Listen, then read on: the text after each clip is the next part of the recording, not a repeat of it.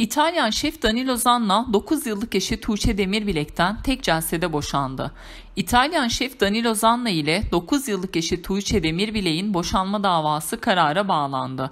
İstanbul 12. Aile Mahkemesi'ndeki duruşmada Danilo Zanna ile Tuğçe Demirbilek avukatlarıyla birlikte hazır bulundu. İtalyan şef tarafından açılan boşanma davasının yaklaşık 20 dakika süren duruşma sonucunda taraflar tek celsede anlaşmalı olarak boşandı.